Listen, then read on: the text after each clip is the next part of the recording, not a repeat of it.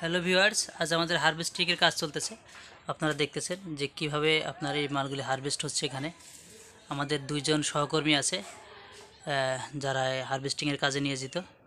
আমরা হারভেস্টিং করতেছি আপনারা দেখেন স্পিরুলিনা হারভেস্টিং হচ্ছে আমার হাউস থেকে।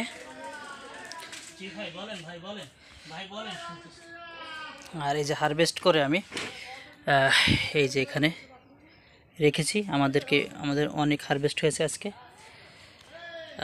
আমাদের ট্রেনিং হচ্ছে এই শুক্রবারে বুঝছেন? নেক্সট ট্রেনিং কবে? এটা আপনি দুই চার দিন পরে ফোন দিলে আপনারা বলে দিব বুঝছেন?